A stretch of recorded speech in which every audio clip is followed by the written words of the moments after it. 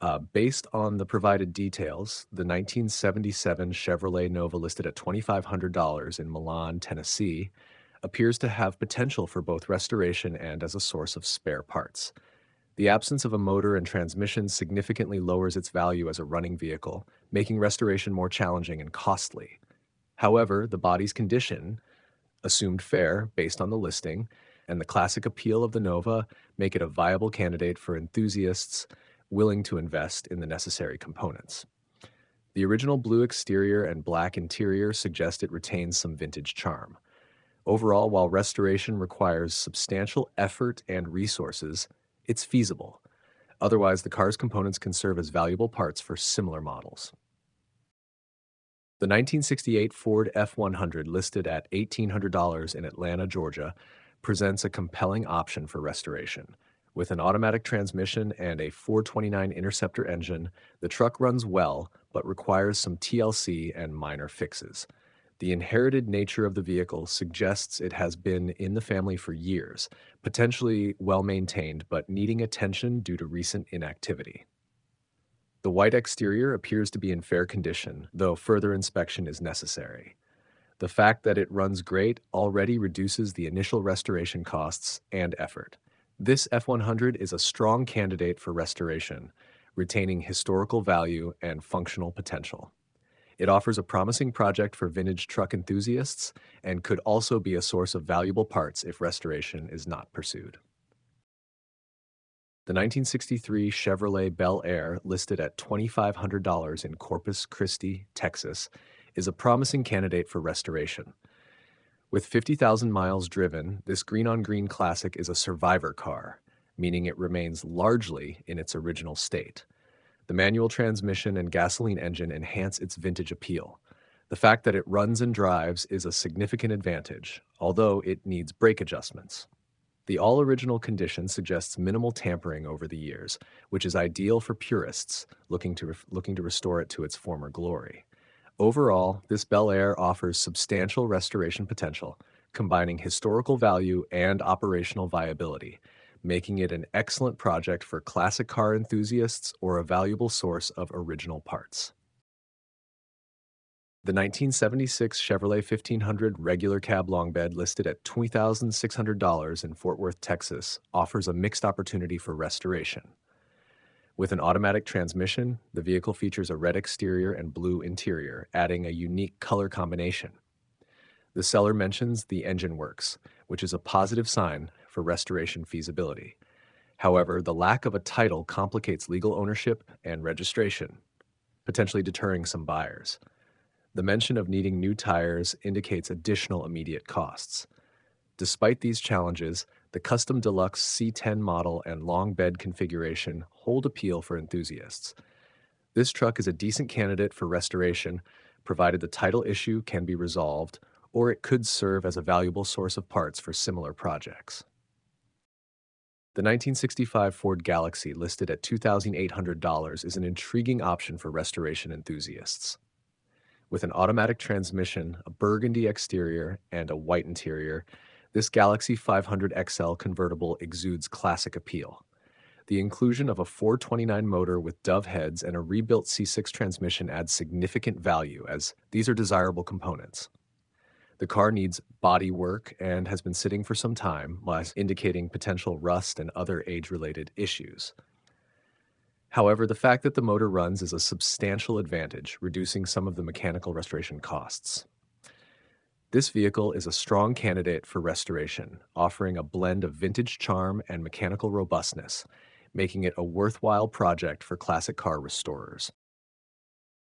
The 1973 Citroën DS, listed at $2,000 with 73,481 miles, is a unique and potentially rewarding restoration project.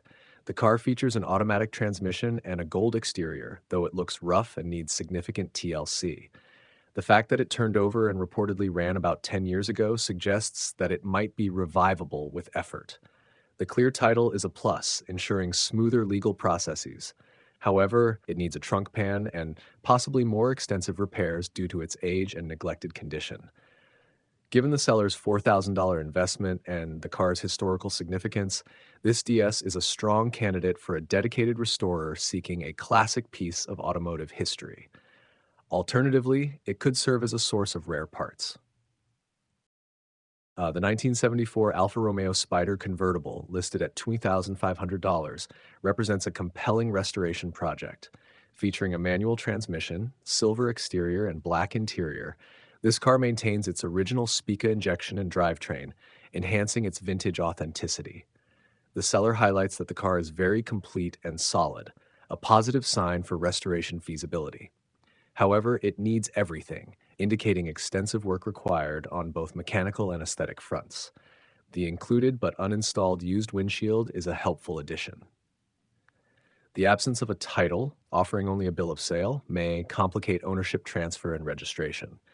Despite this, the car's solid structure and completeness make it a promising starting point for enthusiasts dedicated to reviving a classic Alfa Romeo Spider.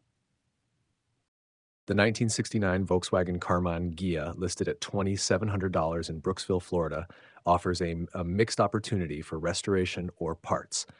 With 78,000 miles driven, it features a manual transmission, red exterior, and black interior. The vehicle runs and drives, which is a positive aspect, but it needs significant work, including floor replacement and rust repair on the body. The absence of a title is a substantial drawback, complicating legal ownership and registration.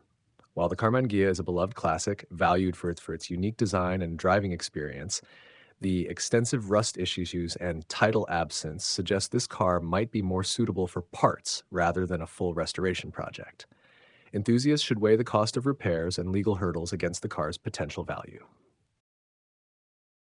The 1964 Dodge Polara, listed at $2,600 in Wister, Oklahoma, presents a substantial restoration project. This tan coupe with an automatic transmission and a 318 poly engine includes all trim except the bottom piece around the rear window. The vehicle lacks a title, though the seller is attempting to locate it, which could delay legal ownership and registration. Significant restoration is required, including replacing the trunk and floor pans, and addressing rust spots in the quarters, although these do not need replacement. The push button automatic transmission is a unique feature, adding vintage charm. Despite the extensive work needed and the missing title, the Polara's classic appeal and potential make it a viable candidate for dedicated restorers willing to invest time and resources. The 1964 Chevrolet Corvair Monza Spyder Turbo, listed at $2,250 in Clearwater, Florida, is an intriguing restoration prospect. With 57,423 miles and a manual transmission, this burgundy on burgundy vehicle has been in storage for 45 years but retains a clean title. Described as a project car, it cannot currently be driven due to brake issues and additional unspecified needs. Positively, the engine runs well and the turbo is functional. Recent updates include brand new tires, new oil and filter, spark plugs and wires, and a rebuilt carburetor, indicating some preparatory maintenance has been performed. Despite requiring significant work, the car's fair condition, rare turbo feature, and classic appeal make it a worthwhile project for enthusiasts or a valuable source of parts for similar models. The 1978 Chevrolet Monza, listed at $2,000 in Florahome, Florida, is a solid candidate for restoration or trade. Featuring an automatic transmission and a blue exterior, this car is equipped with a 231 Buick motor, enhancing its performance potential. The seller notes that the vehicle has a clear title, which simplifies ownership and registration. The primary issue is the need for a gas tank installation, necessitating a trailer for transport. Despite this, the car is described as solid, suggesting minimal rust or structural damage, the firm price and willingness to consider trades make it a flexible option for buyers. Overall, this Monza offers a solid foundation for a restoration project, appealing to enthusiasts seeking a classic car with a straightforward path to operational status.